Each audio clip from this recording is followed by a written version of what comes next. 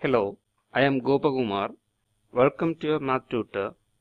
Here we focus on helping you to solve the problems in engineering mathematics in the easiest possible way from an exam point of view. If you are interested in theory, then check out NP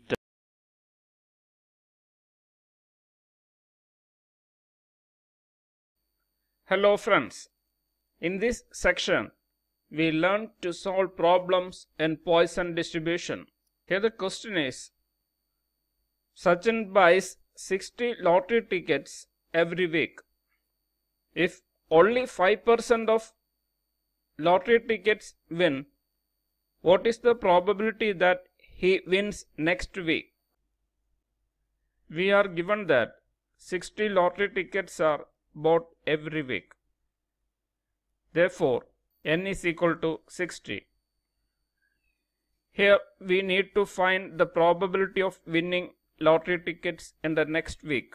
The chances of winning the lottery tickets are given by 5%. Therefore, the parameter p can be taken as p is equal to 0.05. Now we have to find the parameter lambda. We know that lambda is equal to np that is equal to 60 into 0.05 which is equal to 3. Let x be the number of lottery tickets winning then x is a Poisson random variable with parameter lambda then we use Poisson approximation formula e raised to minus lambda into lambda raised to x by x factorial to solve this problem. Substitute lambda is equal to 3 in the formula. We get e raised to minus 3 into 3 raised to x by x factorial. Now we need to find the probability of winning lottery tickets in the next week. Here Sachin buys 60 lottery tickets. There is a probability that either one or two or three or all tickets he bought wins the prize. Therefore, we need to find the probability of x greater or equal to 1. That is equal to probability of x is equal to 1 plus probability of x is equal to 2 plus up to probability of x equal to 60. But this is a tedious process. Therefore, we prefer another method.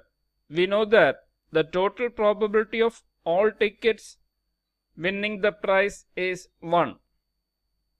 Therefore, to find the probability of x greater than or equal to 1, we subtract the probability of any of the tickets not winning the prize from 1 that is equal to 1 minus probability of x is equal to 0 that is 1 minus to get the probability of x is equal to 0 put x is equal to 0 in equation 1 then we get e raised to minus 3 into 3 raised to 0 by 0 factorial which is equal to 1 minus we know that 3 raised to 0 is 1 and 0 factorial is 1 therefore e raised to minus 3 into 3 raised to 0 by 0 factorial becomes e raised to minus 3